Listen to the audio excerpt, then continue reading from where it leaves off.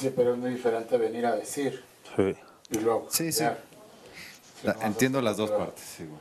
Si no vas a. También para qué dices, punto, ¿no? Ok. Sí, ¿para qué dice? ¿Para qué la- dice? Tú sabes que la gente dice. El día de hoy, en la casa de los famosos, Lupillo Rivera para nada le ha gustado el grito de los fans de que Lupillo es un manipulador y que la bronca no tiene que confiar en él y se salve a sí misma. Bueno, lo que es Lupillo Rivera menciona que Bronca vino aquí a decirle de forma indirecta que iba a salvar a Ariana porque incluso sabe perfectamente que ella se quiere ir. Sin embargo, no fue así como realmente sucedió, ya que el día de ayer, literalmente, Lupillo Rivera fue a hablar con la bronca en el gimnasio, donde incluso Ariana le preguntó, ¿ya hablaste con tu amiga? Y mencionó que sí, que solamente le dijo, ¿estamos claros? Y ella, sí, haciendo referencia a que Bronca salvaría a Ariana. Y Ariana preguntó, ¿pero estamos en claros en qué? Y Lupillo dijo, no, es que no puedo decir mucho haciendo referencia a que no quería abrir la boca y decir, ah, pues es que es para que te salve a ti. Y bueno, ahora menciona Lupillo que ella vino directamente para decirle que Bronca quería salvar a Ariana. Y fue de, son dos cosas totalmente distintas. Solamente que Lupillo Rivera la está cambiando porque como el público mencionó y lo evidenció que está manipulando, a él no le gustó, al punto de decir, manipulador, ¿Qué es eso? Yo, no, yo ni siquiera sé qué hacer o cómo se hace esa palabra. Y todos se quedaron neta.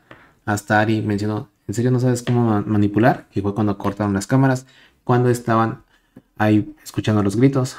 Y bueno, lo que es Rome y Divasa de momento están así como que definiendo a Lupillo. De ¿para qué vienes a decir? ¿No? O sea, a la bronca. ¿Para qué vienes a decir? Bueno, pues Lupillo Rivera está buscando cómo ahora defenderse, pero a veces pues las cosas también son indefendibles. Y bueno, ahora sí, ontan todas las comallas que decían que nada más le tiraba a Maripili. A ver dónde están esas comallas. No, simplemente pues aquí pasa ciertas cosas que, bueno, por una hay que aceptar que Maripili siempre ha estado mal en todas las acciones y formas y modos que hace al hablarle a la gente. Y en la otra es que Lupillo de algún modo se utiliza a las personas a su favor, porque en vez él de distribuir el mensaje en el posicionamiento y todo esto, él lo hace a través de ellos. Y incluso ayer dijo, miren, mis posicionamientos ya siempre van a ser así. Ya no les voy a dar el foco a ellos, me voy a parar con uno de ustedes para decirle las cosas de forma indirecta a ellos. La divasa mencionó, pero eso es este, hablar a las espaldas y tengo miedo que nos quieran tachar de cobardes. Rome y Clovis el día de hoy mencionaron, "Mm, no, nosotros no vamos a hacer eso ni en el posicionamiento ni en el sinceramiento. Vamos a decirle a Cristina sus cosas. Dejando a un lado esa opinión de Lupillo que tenía de, de tal modo.